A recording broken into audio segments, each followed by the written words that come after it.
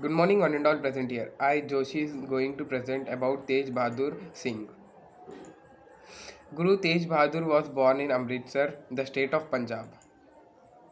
His father name was Guru Hargobind Singh. His, uh, from his childhood, he was brave and bold. He is the ninth Guru of Sikhs. After the sudden demise of Hari Krishnan Rai Ji, he was appointed uh, to the post of Guru. He spent most of his time in meditating. He went to a place called Baba Bakala. There he meditated about uh, 26 years, 9 months and 13 days. Only at the age of 14 he fought with his parents uh, against the Mughals. Seeing the bloodshed in war with the Mughals, his mind was inspired towards spiritual thinking.